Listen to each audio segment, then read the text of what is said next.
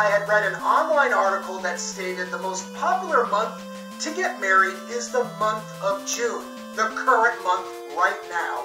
And think about that for a minute, guys. Uh, let's ponder the social implications as to why people would want to get married in the month of June compared to the rest of the year. Well, the only thing I can assume is that people want light and bright, warm weddings. They don't want gray, you know, dreary, rainy, you know, autumn weddings. So, you know, the stigma is that if you get married uh, during a summer month, it's going to be a lot better wedding.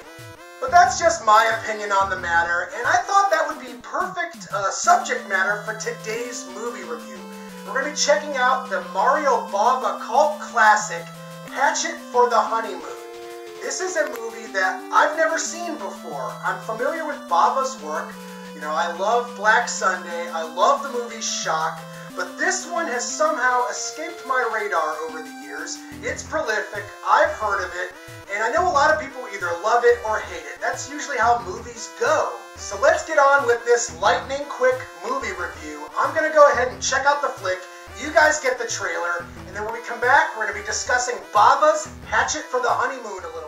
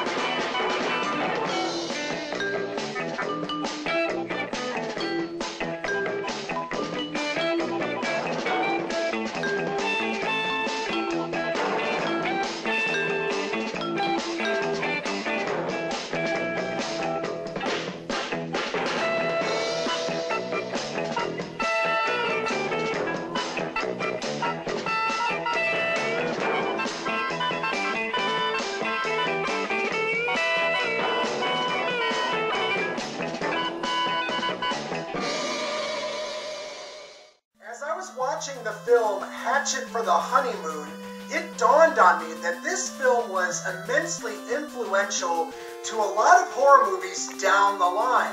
The 1980s slasher film Maniac could be viewed as a light remake of this film. I was also reminded of movies like George A. Romero's Martin, uh, American Psycho, and there is even shades of The Blood Spattered Bride, which is another film uh, that has a wedding theme to it. But in terms of Mario Bava's Hatchet for the Honeymoon, I gotta say, I actually liked this movie. Um, you could view it as a slightly supernatural giallo film. Before I watched this film, I read a few reviews for it online, and one of the most common complaints was that nobody seemed to like uh, the lead actor in this movie. Uh, but personally speaking, you know, I found him to be quite engaging. He looked like some sort of, you know, Hollywood B version of Clint Eastwood. It's very avant-garde, very psychedelic. There's a lot of camera distortions, loud music. There were certain elements to it that were kind of vague, uh, left up to the audience's interpretation.